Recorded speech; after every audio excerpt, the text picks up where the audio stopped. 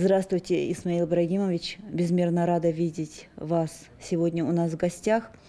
Эм, дело в том, что вот, на мой взгляд, вы человек уникальный. Это абсолютно не лесть, потому что, э, ну вот считается, что существуют гуманитарии и, и существуют технари. Вы два в одном. Э, как это, во-первых, получилось? Ну, наверное, мы об этом чуть позже поговорим повод для нашей встречи, он просто замечательный. Вы выпустили новую книгу, новый труд, э, вот он перед нами. Э, значит, книга называется «Хурзук. Историко-географический очерк». Книга вышла небольшим тиражом, потому что, я так понимаю, это и финансовая составляющая, это дорогая книга, тут хорошие иллюстрации. Книга вышла в Москве. Э, Хурзук, он исследован, но не в той титанической мере, в которой сделали это вы. Мне бы хотелось узнать, почему именно Хурзук. Я понимаю, что все мы оттуда родом, э, весь карачаевский народ.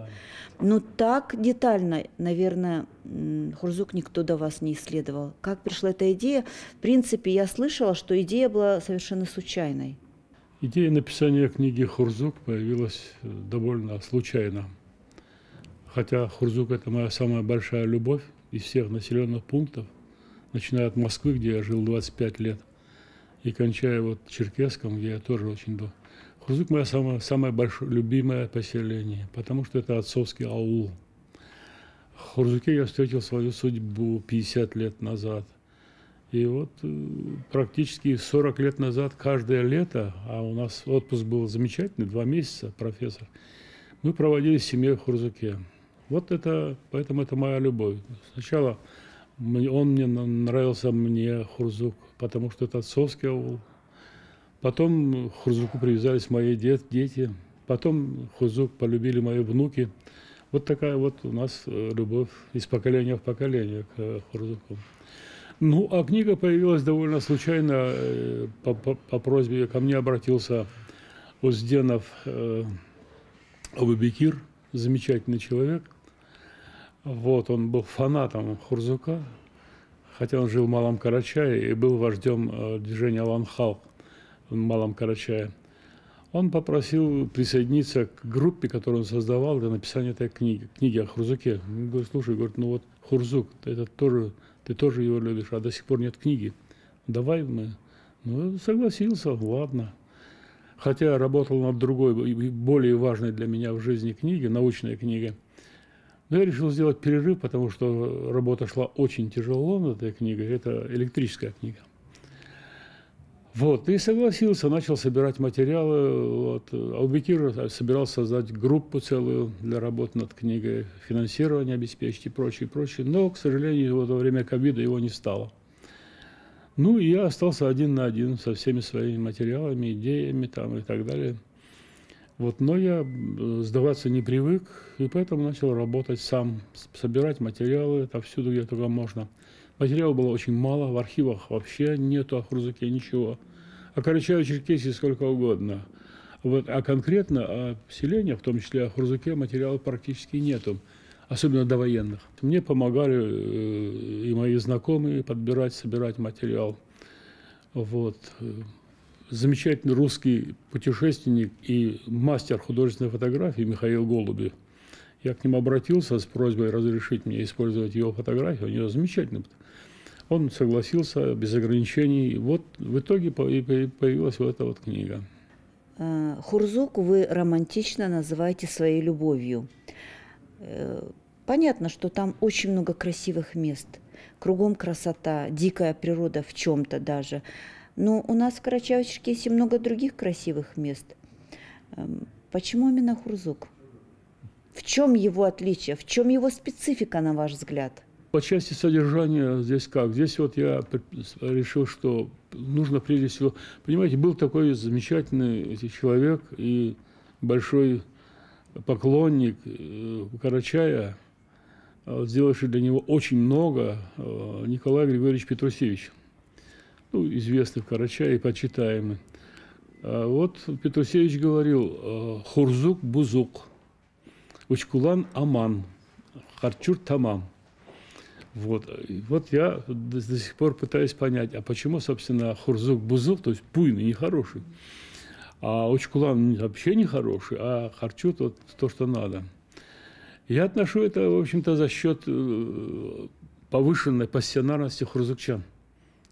Пассионарность что такое? Это вот э, определение Гумилева, это повышенная э, воля к жизни, повышенная активная жизненная энергия. Вот в этом смысле хурзукчане, они действительно отличаются э, от э, других карачаевцев, хотя Большой Карачай вроде бы практически одинаковые условия везде, да. Но Хурзук ближе к Эльбрусу, там все суровее, там и то есть в Хурзуке, например, кукуруза не растет, тогда как в Харджуте она спокойно растет, понимаете? Вот. И вот эта вот некоторая суровость, повышенная суровость, я бы сказал, она, видимо, и отличала хурзукчан, и влияла на их характер. То есть вот по Гумилеву ландшафты имеют решающее значение на формирование этноса. Вот, его характера, его представления, нравов, там, обычаев и так далее, и тому подобное. И вот эти вот ландшафты, которые жили хурзукчане, они совершенно потрясающие. Вообще речь идет о хурзукском поселении сельском. Вот, и это целая страна, 850 квадратных километров. Это больше, чем Андорра, там, например, да, Мальта, там, Мальдивы, там, а, э, я не знаю, ряд других вот таких европейских стран, которые... Вот, и вот нынешний мой приятель, э, мэр Хурзука, это настоящий президент, прекрас, самой прекрасной в мире страны. Вот так вот. И в этой стране, конечно, я и рассказывал о, ее горах, о ее реках, о ее хребтах, там, озерах э, и так дальше, рукотворных реках, Ильпины. Это вообще совершенно потрясающее инженерное явление, между прочим. И я посвятил этому тоже отдельный параграф Ильпинам. Каким образом карачаевцы умудрялись в древние времена создавать инженерные сооружения, уклон которых был всего полтора, 1,4 градуса – на всем его протяжении. Вот, скажем, хан Эльпин в Хурзуке, да, вот, он имеет вот такой вот уклон. Вот я посчитал, если бы он был на полградуса больше, то вода шла бы быстрее, но она доходила бы до середины Хурзука. И там пришлось бы Ильпин вести уже по кварталам. По, вот. А на, еще на полградуса выше, то вода бы не обеспечивала водой Хурзук. А так она проходит вдоль всего Хурзука, центральной части Хурзука, вот этот Ильпин, хан Ильпин, да, и обеспечивает водой э, все население, начиная от э, Баташевых, там вот верхних Баташевых, и кончая Ахтауми, Эльхановыми в нижнем, нижних кварталах. Вот такие вот чудеса у нас есть. И я вот разбирался с этим, как это им удалось сделать, удавалось сделать. И много других таких вот потрясающих вещей. У меня есть там глава, которая называется «Знаменитые хурзукчане». Я там нашел вот 40 человек, 40 хурзукчан, каждый из которых, судьба каждого из которых, она совершенно феноменальна. Но они практически, ну, мы знаем о ком. Мы знаем о Султане Киркевиче Магомедове, генерале полковнике, да, совершенно феноменальном человеке, кстати, я с ним был знаком. Мы знаем о Халимат Байрамуховой, да, ну, мы знаем, вот э, Альберт Узденов у нас есть, да, поэт замечательный. Вот, о ком мы еще знаем. Вот. А там были люди, которые, э, вот один из таких вот людей, совершенно потрясающий, о котором я здесь рассказал, это совершенно забытый нынче э, Баташев Магомед Хаджи Шакаевич. Это был суфи высшего уровня посвящения, то есть равного ему на Северном Кавказе не было. Этот человек мог вот его уровень посвящения и продвижения на пути был настолько высок, что он имел возможность, умел э, дематериализоваться. Угу. Что значит дематериализоваться? Это, Это означает, что перевести свое тело в полевое состояние. Вот таковы возможности души, вот той самой информационно-энергетической и психофизической составляющей, о которой я говорю. А это не аномалия? Это не аномалия, это нормально, возможно для любого человека пребывать в таком состоянии, но для этого, для этого надо работать над собой, постоянно работать. То есть развивать вот свои, свое познание, идти по пути Аллаха, неважно, чем ты занимаешься, физикой занимаешься, математикой, богословием занимаешься, там, ну, не знаю, чем там еще, да, вот. Это все как раз-то и нормально. Ненормально вот то, как мы живем. Исмаил Ибрагимович, я уже в начале нашей беседы сказала о том, что э, вы феноменальный человек.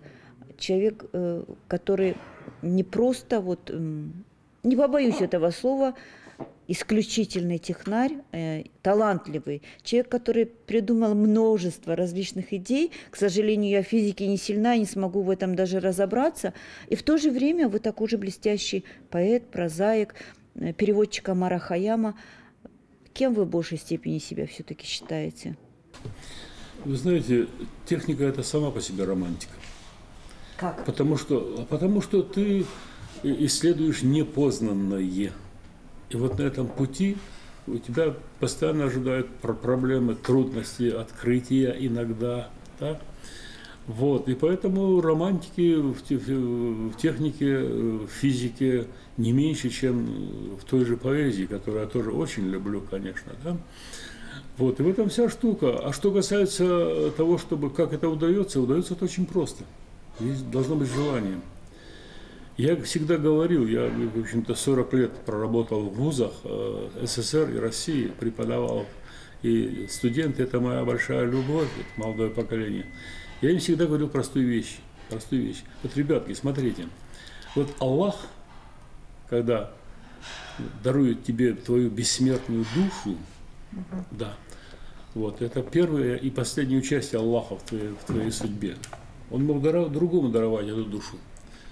Вот, но он даровал ее именно тебе. И вместе с этой душою он дарует тебе вот, а что такое душа? Это информационно-энергетическая структура. Это в моем понятии. Понятно?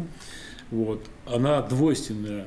Ее одна составляющая – это огромная психофизическая энергия. Угу. И вторая – это огромная интеллектуальная составляющая.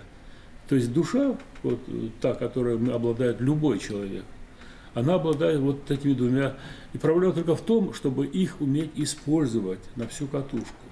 А почему люди так мало мозга используют? А потому что люди не хотят, они ленивые. Потому что люди, вот, к большому сожалению, мы идем не там, по тому пути, который нам начертал Аллах, по пути познания. Вот. А по пути, как бы, вот, э, желудка. Насколько, на ваш взгляд, эм, вот, на ваш взгляд, вот э, субъективный, мы, ну то есть среднестатистические люди используем свой мозг? 5%? Ну, это давно известно. 5% это очень талантливые люди.